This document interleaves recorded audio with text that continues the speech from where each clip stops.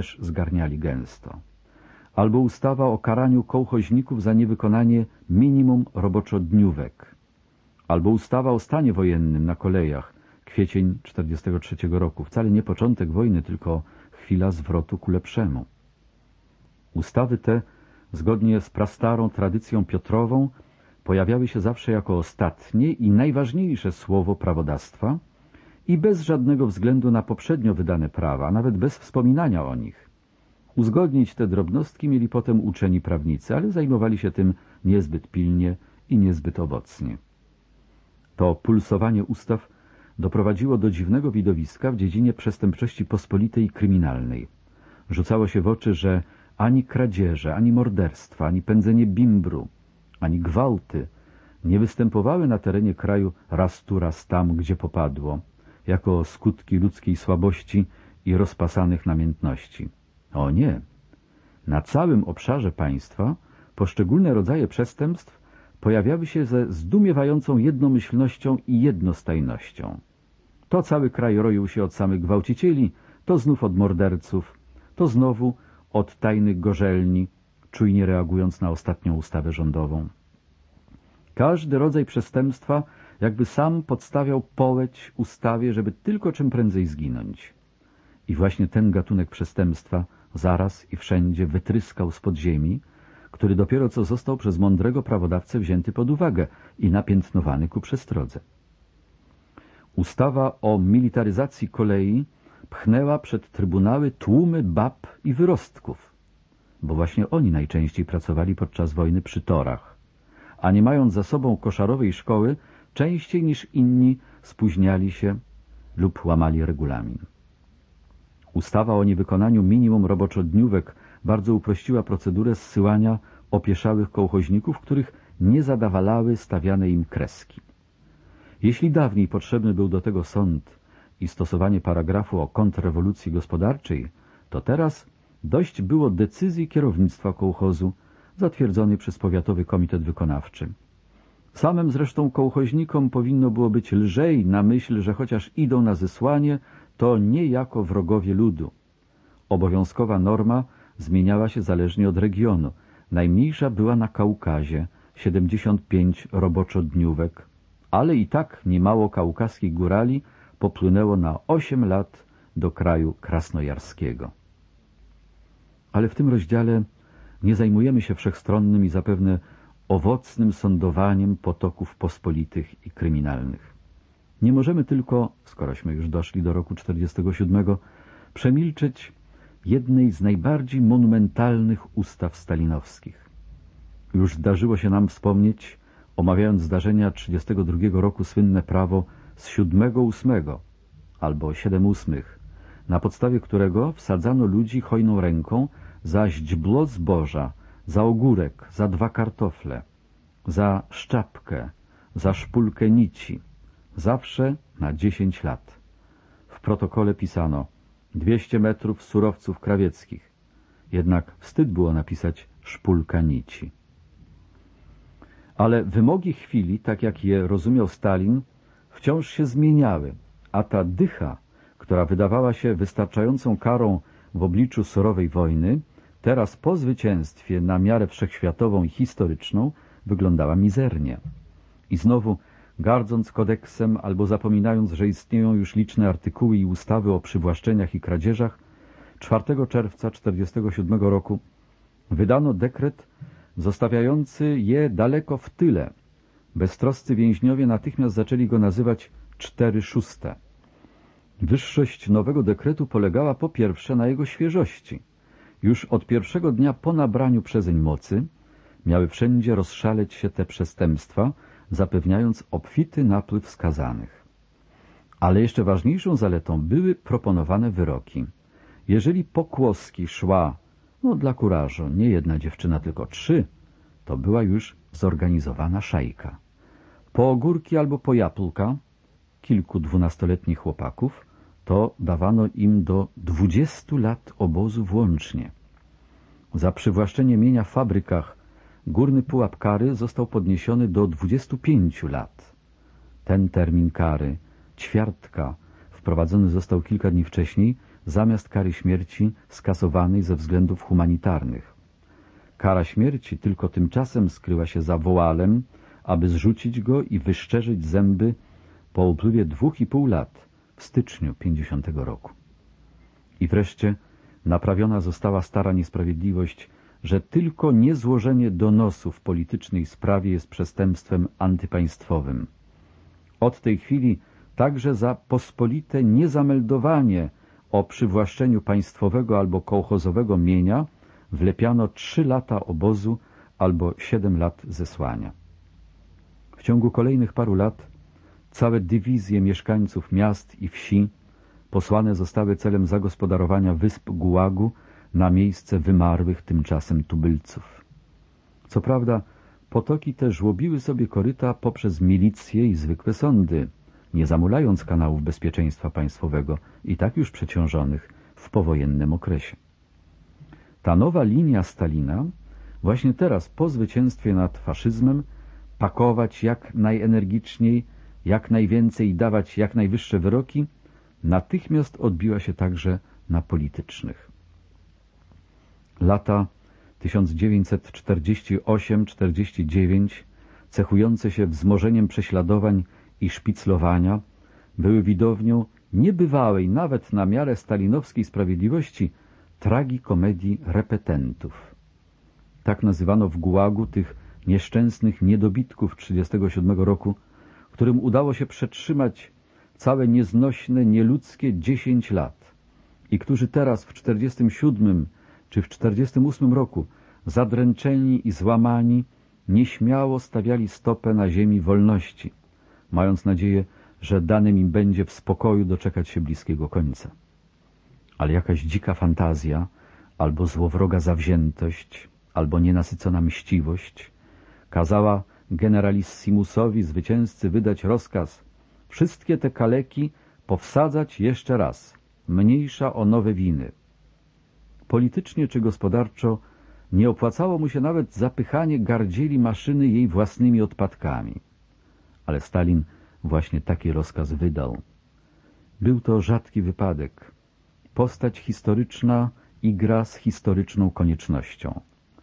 I oto ledwie ci ludzie przylgnęli do nowych okolic albo do nowych rodzin, już przychodzą po nich.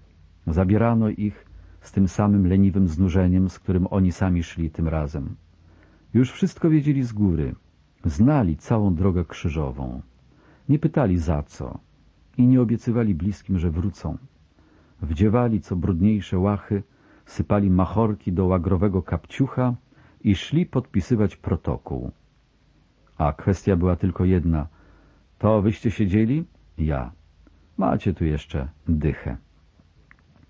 I tu wpadło jedynowładcy na myśl, że to za mało. Zamykać tylko ocalałych weteranów 37 roku. Przecież dzieci tych zaprzysięgłych wrogów też warto powsadzać. Przecież dorastają. Jeszcze mogą pomyśleć o zemście. A może powieczerzał sobie godnie i miał ciężki jakiś sen o tych dzieciach? Sprawdzili więc, porachowali. Owszem, zamykano te dzieci, ale za mało. Dzieci dowódców wszystkie poszły za kratę, dzieci trockistów nie wszystkie i popłynął potok dzieci mścicieli. Trafiła do tego potoku także siedemnastoletnia Lena Kosariowa i trzydziestopięcioletnia Helena Rakowska. Po wielkim europejskim trzęsieniu ziemi Stalinowi udało się koło 48 roku znów otoczyć się mocnym murem, ściągnąć powałę jak najniżej i w tej zamkniętej przestrzeni zagęścić duszne powietrze 37 roku. Przyciągnęli więc w 48, 49 i 50 rzekomi szpiedzy, przed dziesięciu laty niemiecko-japońscy, teraz angloamerykańscy. Wierzący, tym razem większość stanowili członkowie sekt niedorżnięci genetycy i selekcjonerzy, wawiłowcy i mendeliści. Po prostu inteligenci, myślący ludzie, szczególnie studenci, niewystarczająco odstraszeni od Zachodu. Można im było wlepiać WAD, czyli wychwalanie amerykańskiej techniki, WAD, wychwalanie amerykańskiej demokracji, KZ, korzenie się przed zachodem i potoki były podobne jak w 1937 roku. Tylko wyroki były inne. Teraz standardem stał się już nie patriarchalny czerwoniec, lecz nowa stalinowska ćwiartka. Teraz dycha to był dziecinny wyrok. Wcale niemały potok aresztowanych spowodował nowy dekret o zdradzie tajemnicy państwowej, a za tajemnicę uchodziły zbiory w powiecie, każda statystyka epidemiologiczna, co produkuje dany dział czy fabryczka, koordynaty lotniska cywilnego, marszruty komunikacji miejskiej, nazwisko więźnia siedzącego w obozie. Na mocy tego dekretu dostawało się 15 lat. Nie zapomniano też o potokach narodowych. Cały czas płynął potok banderowców branych wprost z lasów i pól bitewnych. Jednocześnie dostawali dychy i piątki obozu albo zesłania wszyscy zachodnioukraińscy chłopi, mający jakąkolwiek styczność z partyzantami. Jeden, że wpuścił na nocleg, drugi, że dał jeść, trzeci, że nie doniósł. Mniej więcej w pięćdziesiątym roku zaczął płynąć potok banderowskich żon. Wlepiano im po dziesiątce za niezłożenie donosu, żeby prędzej wykończyć mężów. Gasł już w tym okresie opór na Litwie i w Estonii, ale w 1949 roku ruszyły stamtąd wezbrane potoki, celem lepszej profilaktyki społecznej i zapewnienia kolektywizacji sukcesu. Całymi pociągami wieziono na syberyjskie zesłanie ludność wsi i miast z trzech nadbałtyckich republik. Rytm historyczny uległ w tych republikach skażeniu. W skróconym, kusym terminie musiały one teraz przejść cały szlak przebyty już przez resztę kraju. W 1948 roku przetoczył się jeszcze jeden potok narodowy. Byli to Grecy z nadmorza azowskiego, z Kubania i okolic Suchumu. Niczym się nie splamili w obliczu ojca podczas wojny, ale teraz mścił się on na nich za porażkę w Grecji. No bo cóż by innego. Zdaje się, że ten potok także był wynikiem jego własnego obłędu. Większość Greków znalazła się na zesłaniu w Azji Środkowej. Niezadowoleni poszli do polit-izolatorów. Koło 50 roku, w trybie tejże zemsty za przegraną wojnę, albo dla zrównania ich z tamtymi już zesłanymi, spłynęli na archipelag również sami powstańcy z armii Markosa, przekazani nam przez Bułgarię. W ostatnich latach życia Stalina zdecydowanie zaczął wzbierać także potok Żydów. Już od 50 roku płynęli ciurkiem jako kosmopolici. Po to właśnie zainscenizowana została sprawa lekarzy. Zdaje się, że Stalin przygotowywał wielką masakrę Żydów. Niczego u nas nie można dokładnie sprawdzić. Tak jest nawet dzisiaj i tak będzie jeszcze długo. Ale według krążącej po Moskwie pogłoski plan Stalina wyglądał jak następuje. W pierwszych dniach marca 53 roku lekarze mordercy mieli być powieszeni na Placu Czerwonym. Wzburzeni patrioci, rzecz prosta, mieli pod kierunkiem instruktorów z miejsca zacząć pogrom Żydów. I wtedy to rząd, widać stalinowski charakter pisma, prawda? Wielkodusznie ratując Żydów przed gniewem ludu, tej samej nocy miał wysiedlić ich z Moskwy na Daleki Wschód i na Syberię, gdzie baraki już były w budowie. To był jednak pierwszy w jego życiu plan, który spalił na panewce. Kazał mu Bóg, zdaje się, że nie bez udziału ludzkiej ręki, wydać ostatnie tchnienie i przenieść się na łono Abrahama. To, co wyżej zostało powiedziane, powinno było, jak sądzę, dostarczyć dowodów, że proces rugowania milionów i zasiedlania krainy Gulag prowadzony był z zimną krwią, konsekwentną przemyślnością i niesłabnącą wytrzymałością. Że pustych więzień nigdy u nas nie było, były one natomiast albo pełne, albo przepełnione ponad miarę. Że podczas gdyście wy z całą satysfakcją pasjonowali się nieszkodliwie tajemnicami jądra atomowego, badali wpływ Heideggera na Sartra i kolekcjonowali reprodukcje Picassa, czy podróżowali wygodnymi wagonami do uzdrowisk, albo kończyli budowę podmoskiewskich dacz, suki bez przerwy śmigały ulicami, agenci zaś pukali i dzwonili do czyichś drzwi. Przypuszczam, że wyjaśnienia powyższe dowiodły, iż organy nigdy nie jadły darmo chleba. Śledztwo Gdyby czechowowskim inteligentom, wciąż zastanawiającym się, co będzie za 20, 30, 40 lat, ktoś odpowiedział, że za lat 40 będą w Rosji tortury przy śledztwie, że będą człowiekowi ściskać głowę obręczą, zanurzać go w wannie z kwasem, że będą go nagiego i skutego wystawiać na ukąszenia mrówek i pluskiew, że mu będą wpychać rozżarzony na prymusie wycior w odbytnicę, tajemne piętno, powoli rozgniatać butem genitalia, a już co najmniej męczyć całotygodniową bezsennością, pragnieniem i biciem na krwawy bewsztyk, ani jedna sztuka Czechowa nie doszłaby do finału. Wszyscy bohaterowie znaleźliby się wcześniej w domu wariatów. Ale co tam bohaterowie Czechowa? Jak i w ogóle normalny Rosjanin, w tej liczbie również każdy członek rosyjskiej socjaldemokracji, mógłby w to uwierzyć, kto potrafiłby pogodzić się z takim oczernianiem świetlanej przyszłości. To, co jeszcze za Aleksego Michajłowicza wydawało się na miejscu, co za Piotra już uchodziło za barbarzyństwo, co za czasów Birona mogło być zastosowane do dziesięciu, dwudziestu ludzi, co stało się już zupełnie niemożliwe od czasów Katarzyny.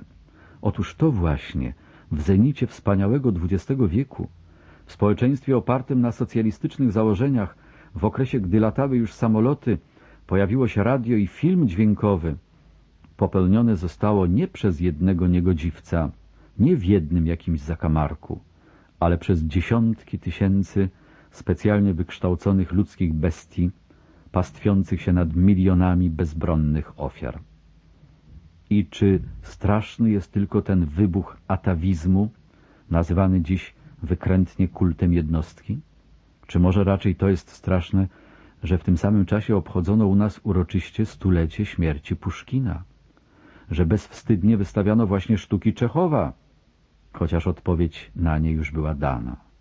A może jeszcze straszniejsze jest to, że nawet po trzydziestu latach powiada się nam, nie trzeba o tym mówić.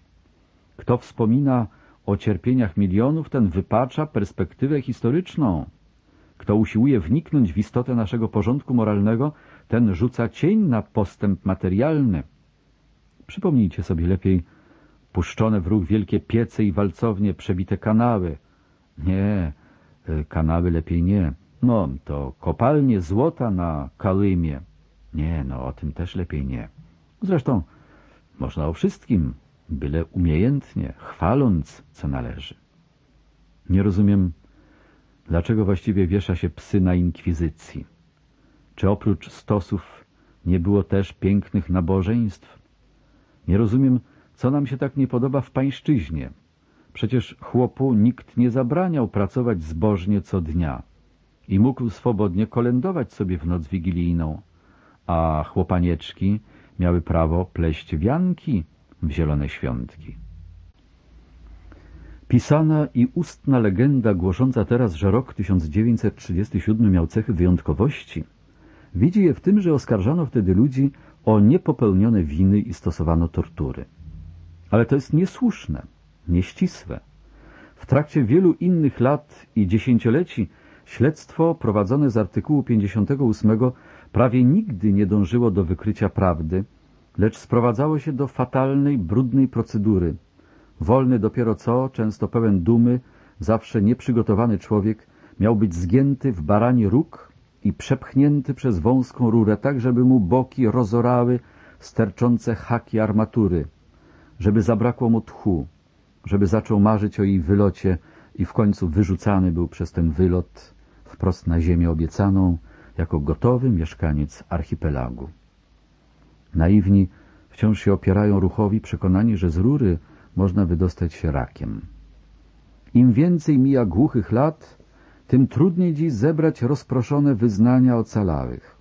A ci właśnie twierdzą, że fabrykowanie lipnych spraw zaczęło się jeszcze we wczesnym okresie istnienia organów, po to, aby dać dowód jak zbawienna jest ich niestrudzona, niezastąpiona, nieprzerwana aktywność, żeby przypadkiem zmniejszenie się ilości wrogów nie spowodowało, broń Boże, zaniku organów.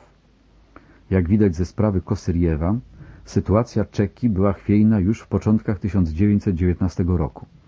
Czytając gazety z 1918 natknąłem się na oficjalny komunikat o wykryciu strasznego spisku grupy złożonej z dziesięciorga osób, która zamierzała, dopiero zamierzała, wciągnąć na dach zakładu wychowawczego, popatrzcie sami, czy ma wystarczającą wysokość, działa, aby ostrzeliwać z nich Kreml. Było ich dziesięcioro, może z kobietami i wyrostkami włącznie. Nie wiadomo tylko, ile było tych dział i skąd je wzięli, jakiego kalibru, jak zamierzali wciągnąć je po schodach na górę i jak ustawić je mieli na spadzistym dachu, jak miało być z odrzutem przy strzelaniu. Dlaczego petersburscy policjanci przy tłumieniu zajść rewolucyjnych nie brali ze sobą na dachy nic cięższego od karabinu maszynowego? A jednak te fantazje antycypujące pomysły z 1937 roku były przecież czytane i ludzie w to wierzyli. Lipna była również sprawa, w wyniku której rozstrzelano poetę Mikołaja Gumiłowa w 1921 roku. Achmatowa wymieniała mi nawet nazwisko czekisty, który tę sprawę zmyślił. Jakow Agranow. W tym samym roku w riazańskiej Czerezwyczajce zaczęto rozdmuchiwać fikcyjną sprawę spisku miejscowej inteligencji. Ale protesty śmiałków docierały jeszcze wtedy do Moskwy i sprawie nie nadano biegu. W tym samym 21 roku rozstrzelano w całości jeden z komitetów wchodzących w skład Komisji Wykorzystania Rezerw Naturalnych. Wystarczająco dobrze znając nastroje rosyjskich kół naukowych w tym okresie i nie mając zasłony dymnej fanatyzmu przed oczyma, możemy chyba ocenić bez pomocy archeologów, co ta cała sprawa była warta. 13 listopada 20 roku Dzierżyński w piśmie do WCK ostrzega zaś, że czeka często nadaje bieg oszczerczym oskarżeniom. Od roku 21 tak jeszcze wspomina Eugenia Dojarenko. Łubiańska Izba Przyjęć dla Aresztantów, 40-50 prycz, całą noc sprowadzają kobietę po kobiecie. Żadna nie wie, co jej się zarzuca, panuje przekonanie, że łapią nie wiadomo za co. W całej celi jedna tylko wie, to eserka. Pierwsze pytanie Jagody, a więc za co was aresztowano? To znaczy sama podpowiedz, pomóż im jeszcze uwikłać się. I absolutnie to samo się mówi o riazańskim GPU w 30 roku. I tu wszyscy są przekonani, że siedzą nie wiadomo za co. Brak konkretnych zarzutów do tego stopnia, iż Idetowa oskarżają o noszenie fałszywego nazwiska. I chociaż nazwisko było zupełnie prawdziwe, to jednak trójka OSO wlepiła mu z artykułu 58.10 trzy lata. Nie wiedząc, do czego by tu się przyczepić, śledczy pytał, zawód planista. Proszę napisać wyjaśnienie na temat planowania w fabryce i jego metod. Potem dowiecie się, za co was aresztowano. W tym wyjaśnieniu jakiś haczyk się już znajdzie. A czy nie nauczono nas w ciągu tych dziesięcioleci, że stamtąd nikt nie wraca? Prócz krótkiego planowego prądu wstecznego w 1939 roku nadzwyczaj rzadko można usłyszeć o zwolnieniu kogoś w wyniku śledztwa. Przy tym tych nielicznych albo wkrótce znów zamykano, albo zwolnienie w ogóle było tylko wybiegiem dla ułatwienia inwigilacji. W ten sposób powstała tradycja, że organy pracują bez braku. Nie było zatem wcale niewinnych? W słowniku Dala znajdujemy takie oto rozróżnienie. Dochodzenie tym się różni od śledztwa, że prowadzone jest w celu wyjaśnienia, czy są w ogóle podstawy do wszczęcia śledztwa. O, święta naiwności. Ależ organy nigdy nie znały żadnego dochodzenia. Przysłane z góry spisy albo pierwsze podejrzenie doniesienia konfidenta, czy nawet anonimowy donos pociągały za sobą areszt, a następnie nieuchronne postawienie w stan oskarżenia. Artykuł 93 kodeksu procedury karnej tak właśnie jest sformułowany. Oświadczenie anonimowe może służyć za powód do wytoczenia sprawy kryminalnej. Niech nikogo nie dziwi słowo kryminalnej. Wszyscy więźniowie polityczni uważani byli za kryminalnych. Wyznaczony zaś na śledztwo czas uchodził nie na rozwikłanie zagadki przestępstwa, lecz w 95 wypadkach na 100 zużywany był na wymęczenie, zadręczenie, osłabienie badanego do tego stopnia, że dałby już głowę pod topór, byleby raz był koniec. Już w dziewiętnastym roku najważniejszym chwytem śledztwa było kładzenie nagana na stole. W ten sposób prowadzono śledztwo nie tylko w sprawach politycznych, ale także kryminalnych. Na procesie Centrali Paliw, rok 1921, podsądna Machrowska wniosła skargę, że ją podczas śledztwa pojono kokainą. Oskarżyciel tak odpowiada.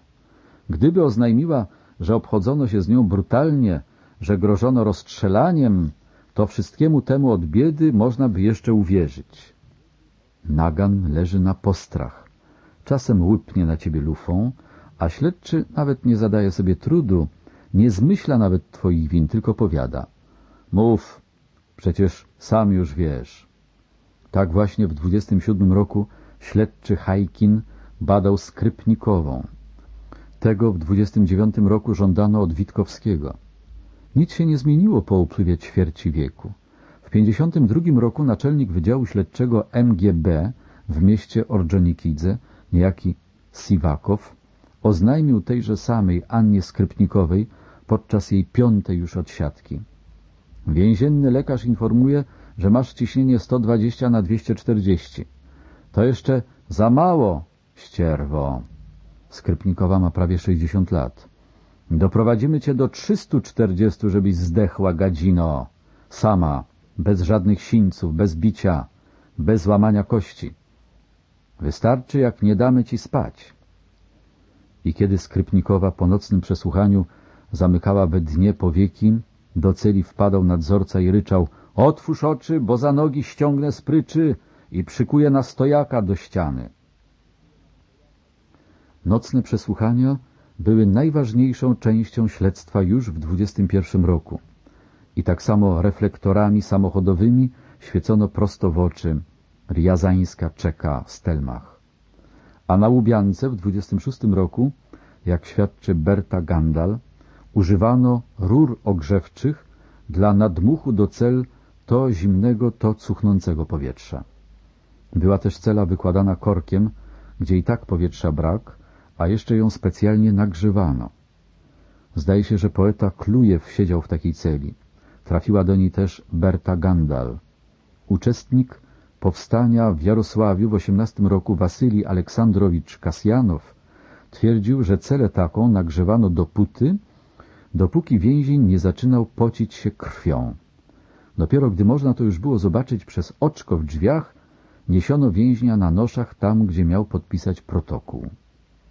Znane były gorące i słone sposoby stosowane podczas gorączki złota, a w Gruzji w 26 roku przypalano badanym ręce papierosami.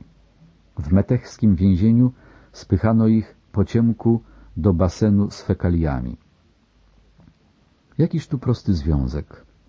Jeśli trzeba znaleźć winę za wszelką cenę, to konieczne stają się groźby, akty gwałtu, tortury, a im bardziej oskarżenie jest fantastyczne, tym okrutniejsze musi być śledztwo. No jakże inaczej wymusić przyznanie się do winy? I skoro lipne sprawy były zawsze, to przemoc i tortury też zawsze były. Nie jest to wyłączna cecha 1937 roku. To rys dawny, ogólnego charakteru. Oto dlaczego dziwi się człowiek, czytając czasem wspomnienia byłych zeków, że tortury zostały dozwolone na wiosnę 1938 roku. Eugenia Ginsburg pisze, że zezwolenie na stosowanie fizycznych środków nacisku udzielone zostało w kwietniu 1938 roku. Szalamow uważa, że tortury dozwolone zostały w połowie 1938 roku. Stary więzień Emcz jest pewien, że istniał rozkaz o uproszczeniu dochodzeń i zmianie metod psychicznych na fizyczne. Iwanow Razumnik podkreśla, że lato 1938 roku było okresem najokrutniejszych przesłuchań. Duchowych i moralnych hamulców, które mogłyby powstrzymać organy od tortur, nigdy nie było. W ciągu pierwszych lat po rewolucji W pismach tygodnik WCK, Czerwony Miecz i Czerwony Terror otwarcie roztrząsano kwestię stosowności tortur z punktu widzenia marksizmu. Sądząc z rezultatów, odpowiedź znaleziono pozytywną, chociaż wcale nie wszędzie ją uznano. Słuszniejsze będzie takie ujęcie sprawy 1938 roku. Jeśli przed tą datą dla stosowania tortur potrzebny był jakiś formalny nakaz, zezwolenie, wydane w niektórych wypadkach, załóżmy, że dostać je było nietrudno, to w latach 37-38 z uwagi na okoliczności nadzwyczajne, milionowe kontyngenty ludzkie przeznaczone do wysyłki na archipelag, trzeba było w nakazanym z góry ograniczonym terminie przepuścić przez młynek indywidualnego śledztwa, czego nie wymagały potoki masowe, kułackie i narodowe, i udzielono pracownikom śledczym nieograniczonego zezwolenia na stosowanie przemocy i tortur wedle uznania, jeśli tego wymagała robota i nakazany termin. Rodzaje tortur nie były przy tym reglamentowane. Wszelkie wynalazki widziane były chętnie. W 1939 roku ta ogólna, szeroka dyspensa została cofnięta. Znów trzeba było mieć na piśmie formalne zezwolenie na stosowanie tortur i chyba już nie tak łatwo je dawano. Zresztą zwyczajne groźby, szantaż, oszustwo, nękanie bezsennością i karcerem, tego nigdy się nie zabraniało. Ale pod koniec wojny i w latach powojennych w stosunku do określonych z góry kategorii aresztantów znów dozwolona została szeroka gama tortur. Chodziło tu o nacjonalistów, zwłaszcza Ukraińców i Litwinów, szczególnie w tych wypadkach, gdy istniała prawdziwa albo urojona organizacja podziemia i trzeba było całą ją wysnuć z motka, wydusić wszystkie nazwiska z już aresztowanych. Na przykład grupa Romualdasa Pranos Kiriusa. Liczyć miała około 50 członków Litwinów. W 1945 roku oskarżono ich o rozklejanie antysowieckich ulotek. Ponieważ na Litwie brakowało wtedy więzień, przeniesiono ich do obozu w okolicach Wielska w kręgu archangelskim. Niektórych tam poddano torturom, inni po prostu nie mogli wytrzymać podwójnego ładunku pracy i badań, dość, że w rezultacie wszyscy pięćdziesięciu co do jednego przyznali się. Za jakiś czas nadchodzi z Litwy wiadomość, że wykryto prawdziwych autorów i kolporterów tych ulotek, a ci wszyscy nic z tym nie mają wspólnego. W 1950 roku w kujbyszewskim więzieniu etapowym zetknąłem się z pewnym Ukraińcem z Dniepropietrowska, którego, szukając jego kontaktów i kompanów, poddawano rozmaitym mękom. Był wśród nich karcer stojący z poprzeczką, wsuwaną dla podparcia, żeby mógł się zdrzebnąć na cztery godziny na dobę.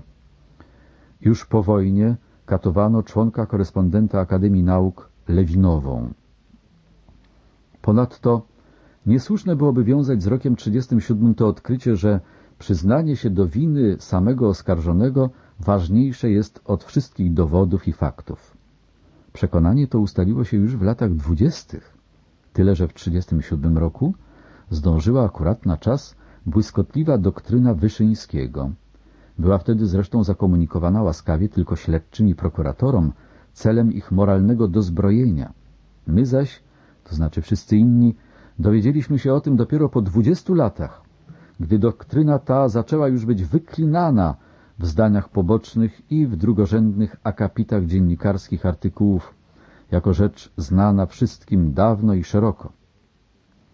Okazuje się, że tego groźnego i pamiętnego roku w swoim referacie, który w pewnych szczególnych kręgach zyskał szczególną sławę, Andrzej Januarowicz, korciarz, żeby napisać Jagwarowicz, Wyszyński, w duchu najsubtelniejszej dialektyki, której nie pozwalamy już uprawiać ani poddanym, ani mózgom elektronowym, bo dla nich tak to jest tak, a nie to nie, przypomniał zebranym, że nie jest w ludzkiej mocy ustalenie prawdy absolutnej, ubiegać się zaś można tylko o prawdę względną.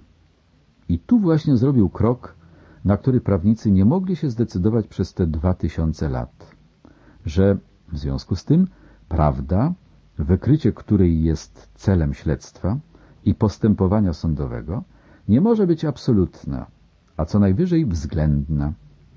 Dlatego podpisując wyrok śmierci przez rozstrzelanie, my i tak nie możemy być absolutnie pewni, że skazujemy winowajcę. Mamy tylko pewien stopień pewności, z pewnego tylko punktu widzenia i jedynie w pewnym sensie.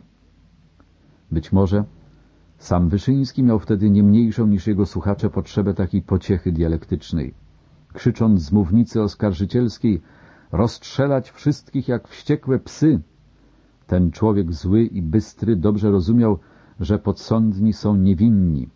Z tym większą chyba pasją i on, i taki as dialektyki marksistowskiej jak Bucharin oddawali się ozdabianiu sądowej lipy dialektycznymi zawiasami. Dla Bucharina śmierć bez żadnej przyczyny byłaby czymś głupim i niestosownym. Miał wręcz potrzebę doszukania się w sobie jakiejś winy. A Wyszyńskiemu milej było uważać się za mistrza logiki niż za zdeklarowanego podleca. Stąd wniosek praktyczny. Zupełnie zbyteczną stratą czasu byłoby więc poszukiwanie niezbitych dowodów winy. Wszystkie dowody są względne. Absolutnie wiarygodnych świadków. Świadkowie mogą sobie wzajemnie przeczyć.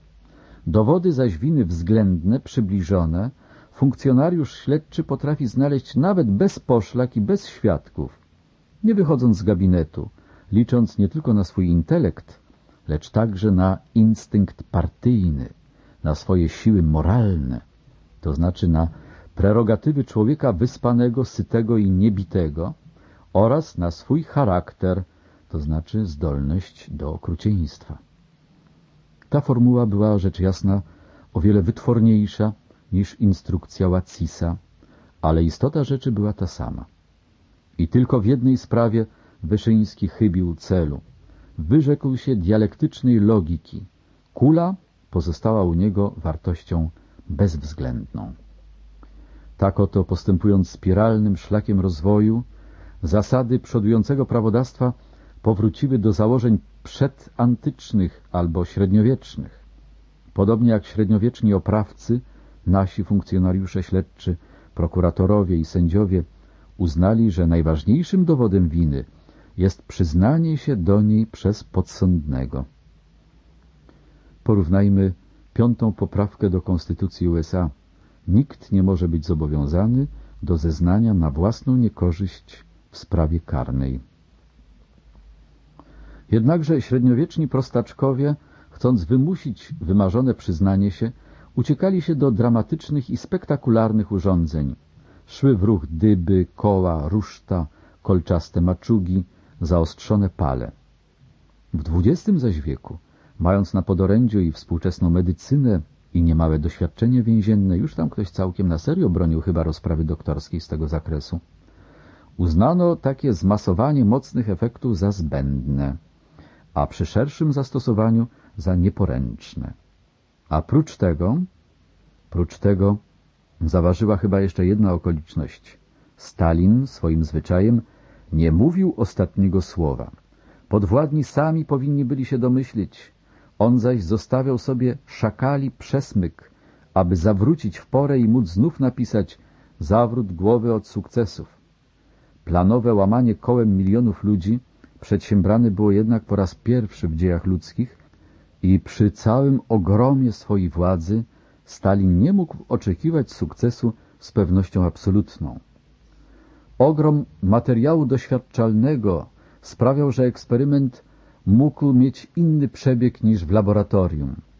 Mogło dojść do nieprzewidzianego wybuchu, do geologicznego kataklizmu, a choćby do rozpowszechnienia tajemnicy.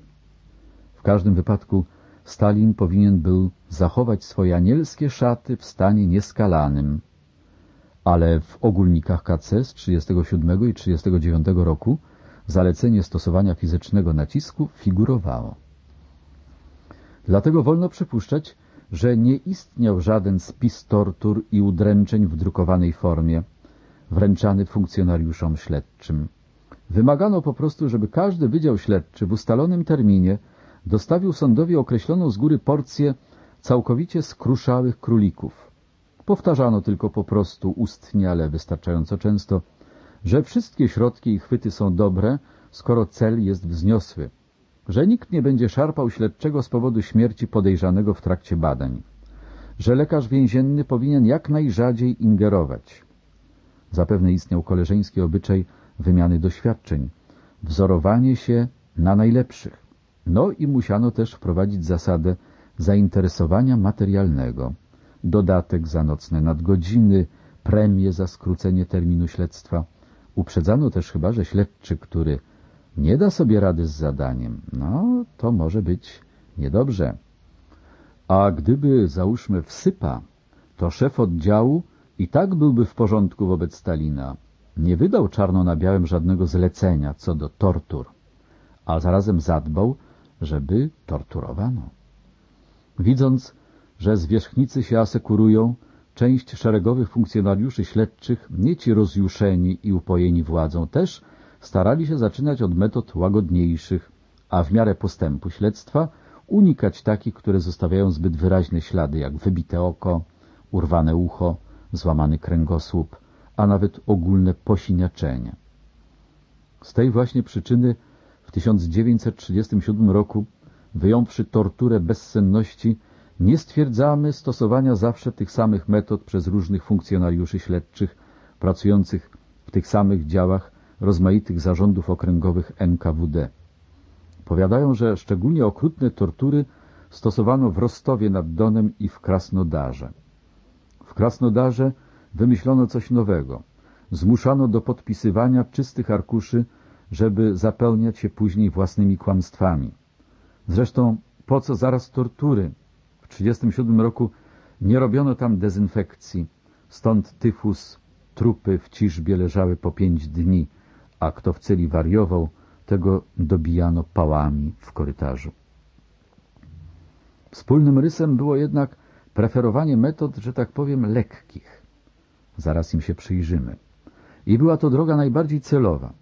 Przecież rzeczywiste granice ludzkiej równowagi umysłowej zakreślone są ciasno i wcale niepotrzebne są dyby albo ruszta, żeby przeciętnego człowieka doprowadzić do stanu niepoczytalności. Spróbujmy wyliczyć niektóre najprostsze chwyty, z których pomocą łamie się wolę i osobowość aresztanta, nie zostawiając śladów na jego ciele. Zaczniemy od metod nacisku psychicznego. Na króliczków nieprzygotowanych wcale do znoszenia więziennej udręki metody te działają z olbrzymią, wręcz burzącą siłą, ale człowiek o mocnych przekonaniach też łatwo sobie z tym poradzi. Po pierwsze, na początek problem nocy. Czemu to właśnie nocą biorą się najchętniej do łamania ludzkich dusz?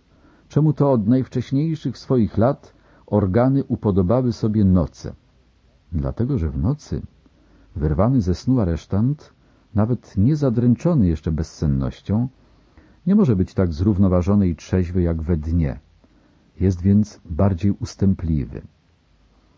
Po drugie, szczera perswazja. Najprostszy z chwytów, po co się bawić w kotka i myszkę? Aresztant już przesiedział trochę w towarzystwie innych więźniów będących w śledztwie, już zna ogólną sytuację. Przesłuchujący mówi mu więc tonem leniwym i życzliwym sam widzisz, wyroku tak czy owak nie unikniesz. Ale jeśli będziesz stawiać się okoniem, to już tutaj, w tej ciupie zmarniejesz. Całe zdrowie stracisz. A w obozie od razu będziesz miał powietrze, światło. Także lepiej podpisz czym prędzej. To bardzo logiczne i trzeźwo rozumują ci, którzy dają zgodę i podpisują prędko, tylko że gdyby to chodziło tylko o nich samych. Ale tak bywa dość rzadko i nie sposób uniknąć walki. Drugi wariant perswazji obliczony jest na członków partii. Jeżeli w kraju panuje niedostatek i zdarza się nawet głód, to, jako bolszewik, tak powinniście sami przed sobą postawić sprawę, czy można w ogóle założyć, że to wina całej partii albo władzy sowieckiej? Nie, na pewno, że nie, odpowiada skwapliwie dyrektor jakiegoś ośrodka uprawy lnu. No to miejcie tyle odwagi, żeby wziąć winę na siebie. I człowiek bierze. Po trzecie, ordynarne wyzwiska. Chwyt nieskomplikowany, ale bardzo skuteczny w stosunku do ludzi wykształconych, delikatnych, subtelnych. Znane mi są dzieje dwóch duchownych, którzy skapitulowali wobec przekleństw. Śledztwo w sprawie jednego z nich, Butyrki, w 1944 roku prowadziła kobieta. Z początku pop nie mógł się w celi nachwalić, jaka to ona była grzeczna. Aż pewnego razu wrócił z badania przybity i długo nie mógł się zdobyć na powtórzenie tej wiązanki, którą go uczciła, założywszy nogę na nogę. Żałuję, że nie mogę tu przytoczyć jednego z jej powiedzonek. Po czwarte, szokowanie psychologicznym kontrastem, nagłe przejście. W trakcie całego przesłuchania śledczy jest nader grzeczny, tytułuje badanego, obiecuje różne dobrodziejstwa. Nagle, jak się nie zamierzy suszką, jak nie krzyknie o, gadzina, dziewięć gramów kark i ręce wyciąga, jakby miał paznokcie zakończone igłami. Na kobiety ten chwyt bardzo działa. Istnieje wariant tej metody. Dwaj funkcjonariusze pracują na zmianę. Jeden sroży się i wścieka, a drugi jest sympatyczny, niemal serdeczny. Badany za każdym razem dygocze, wchodząc do gabinetu, na którego z nich trafi. Prawem kontrastu człowiek gotów jest temu drugiemu podpisać wszystko i przyznać się nawet do tego, co nigdy nie miało miejsca. Piąte. Wstępne upokorzenie. W sławetnych piwnicach rostowskiego GPU nr 33 pod grubym szkłem ulicznego chodnika, dawne magazyny, więźniów aż do pierwszego przesłuchania trzymano w ogólnym korytarzu w pozycji leżącej, twarzą ku ziemi, nie pozwalając podnieść głowy i przemówić słowa. Leżeli tak jak modlący się muzułmanie dopóty, dopóki konwojent nie wziął ich za ramię i nie poprowadził na badanie. Aleksandra Owa nie składała na Łubiance zeznań, jakich od niej oczekiwano. Przenieśli ją do Lefortowa. Przy rejestracji nadzorczyni kazała jej się rozebrać, zabrała odzież, rzekomo dla procedury sanitarnej, ją zaś zamknęła gołą w boksie. Zebrali się zaraz strażnicy, mężczyźni jeli zaglądać przez Judasze, śmiać się, oceniać jej wdzięki. Gdyby ludzi zapytać, na pewno takich przykładów zebrałoby się więcej. Cel jest ten sam – zgnębić człowieka. Rozmaite chwyty służące dezorientacji aresztanta. Oto sposób zastosowany wobec FJW z Krasnogorska w okręgu moskiewskim. Prowadząca śledztwo niewiasta w czasie przesłuchań rozbierała się stopniowo striptease, ani na chwilę nie przerywając badania. Jak gdyby nigdy nic spacerowała po pokoju, podchodząc blisko do więźnia i wciąż domagając się podpisania protokołu. Może miała takie osobiste skłonności, a może był to chwyt obmyślony na chłodno, aby zupełnie zbić więźnia z pantałyku i skłonić do ustępstw. Nic jej zresztą nie groziło. Miała pod ręką pistolet i dzwonek. Zastraszenie. Chwyt najczęściej stosowany i najbardziej urozmaicony. Często kojarzony jest z chwytem przynęty i chwytem obietnicy. Rozumie się, nie są to obietnice na serio.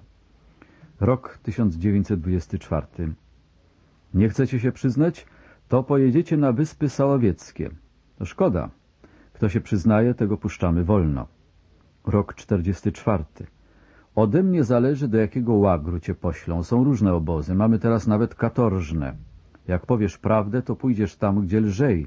Jak weźmiesz na zapartkę, to 25 lat w kajdankach na podziemnych robotach. Straszą przeniesieniem do innego, gorszego więzienia. Jak będziesz się zapierać, to poślemy cię do Lefortowa, jeśli rzecz się dzieje na Łubiance. Tam inaczej z tobą pogadają. A człowiek już zdążył się przyzwyczaić. W tym więzieniu reżim jakby nie najgorszy. A co za tortury czekają na człowieka tam? I w ogóle przenosiny? Może lepiej ustąpić.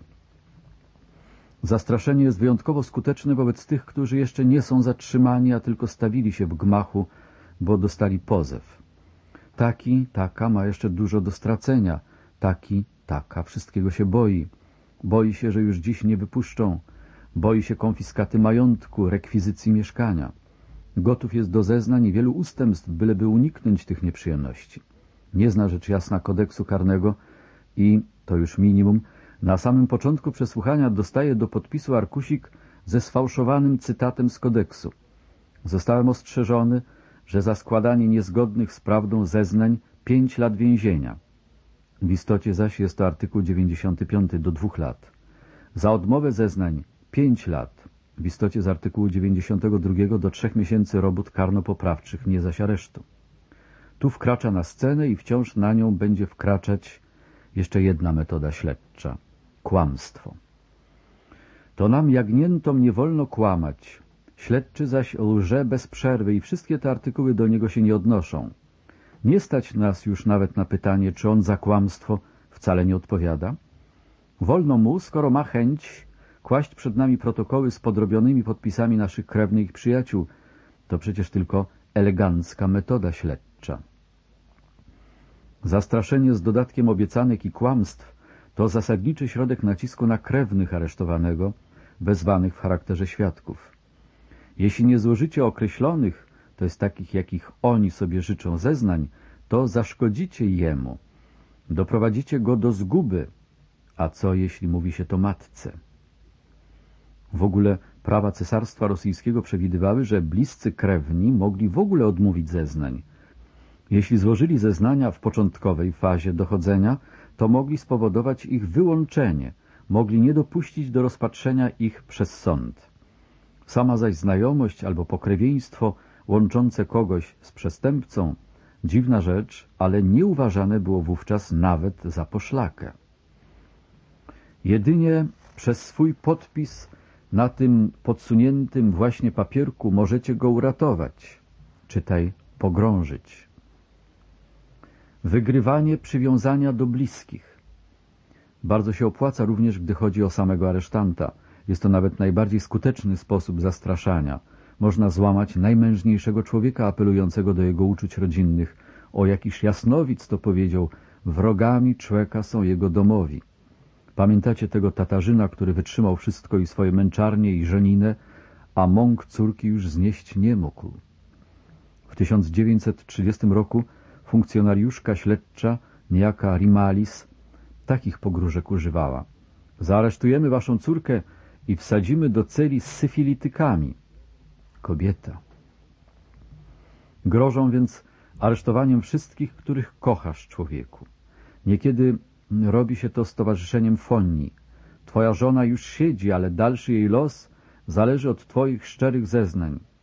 Właśnie ją przesłuchują w sąsiednim pokoju, możesz posłuchać. I rzeczywiście za ściany dobiega kobiecy płacz i krzyk.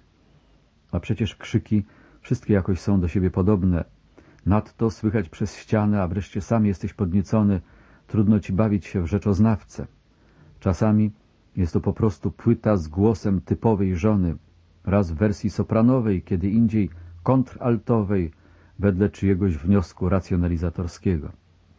Ale oto, już bez żadnych sztuczek, pokazują ci przez szklane drzwi, jak idzie milcząca z opuszczoną żałośnie głową. Tak, to twoja żona w korytarzu bezpieczeństwa, to twój upór ją zgubił.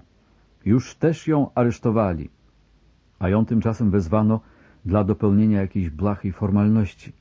Umówionej chwili wypuszczono ją na korytarz i nakazano, żeby nie ważyła się podnieść głowy, bo inaczej nigdy stąd nie wyjdzie. Albo dają ci do przeczytania jej list, jej charakterem pisany. Wyrzekam się ciebie. Po tych okropnościach, których się o tobie dowiedziałam, nie jesteś mi więcej potrzebny. A jako, że takie żony i takie listy w naszym kraju mogą się zdarzyć, czemu nie? Więc można chyba tylko własnej duszy spytać, czy i twoja żona jest taka?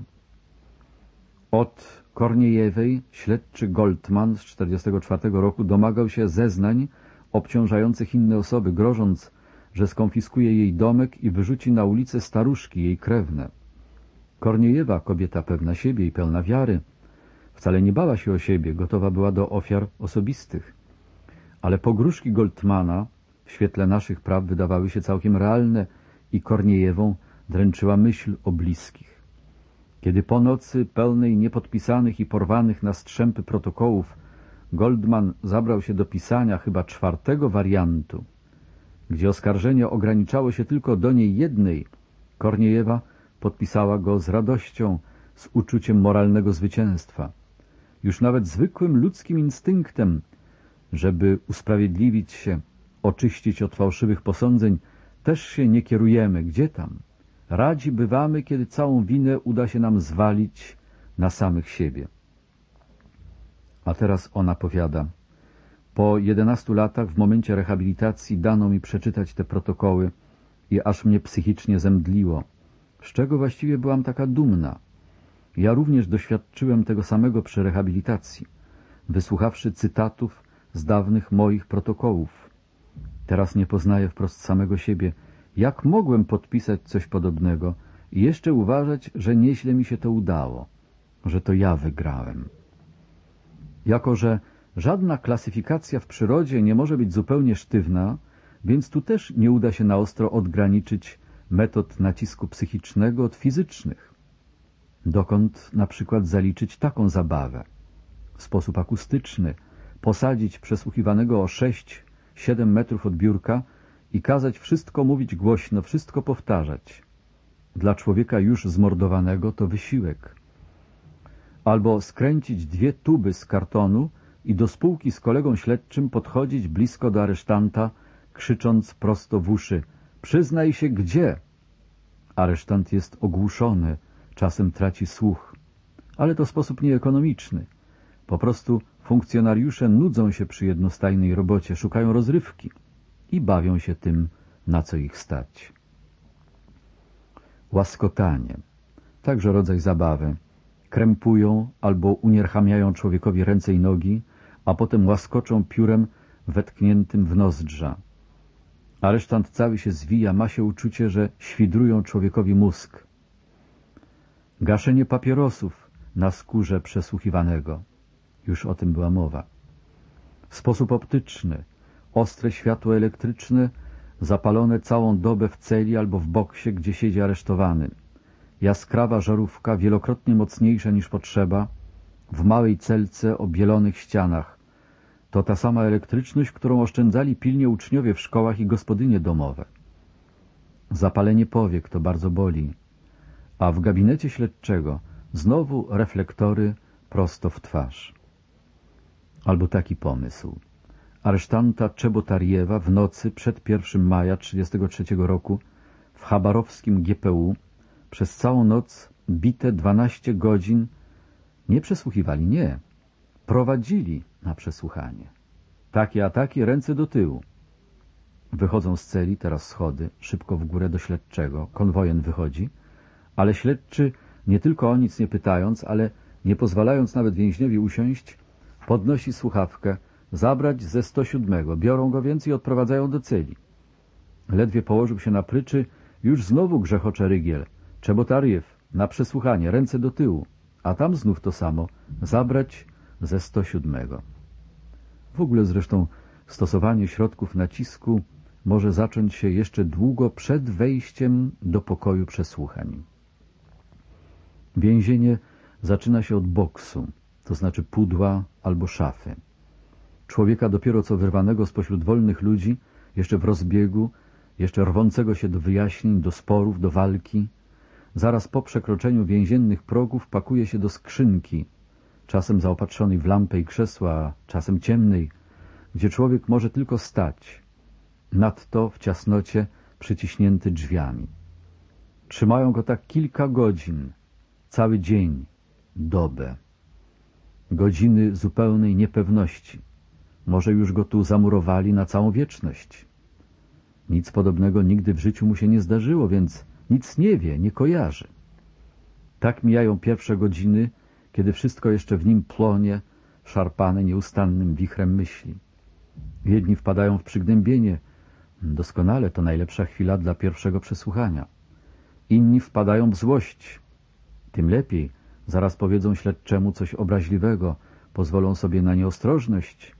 To tylko ułatwi rozkręcenie sprawy. Kiedy boksów nie starczało, był jeszcze inny sposób. Helena Strutińskaja w nowoczerkaskim NKWD została posadzona w korytarzu na taborecie na sześć dni i nocy, tak aby nie mogła ani się oprzeć, ani zasnąć, ani upaść i już nie wstać więcej. Na sześć dni i nocy. Spróbujcie posiedzieć tak sześć godzin. Można też w charakterze wariantu sadzać więźnia na wysokim stołku, jakich używa się w laboratoriach, tak żeby nie dosięgał podłogi nogami. Bardzo ładnie wtedy puchną. Wystarczy 8-10 godzin takiego siedzenia.